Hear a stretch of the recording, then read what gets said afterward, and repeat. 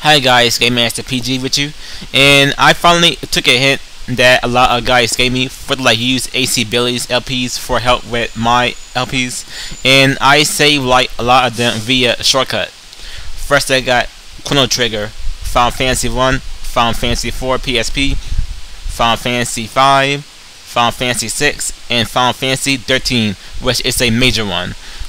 Alright y'all, if they y'all know anybody else that has great LPs, please do leave your comment down below. That will help me out a lot. And, and thanks for your support. Alright y'all, this has been Game Master PG. I will see y'all next time. Take care y'all.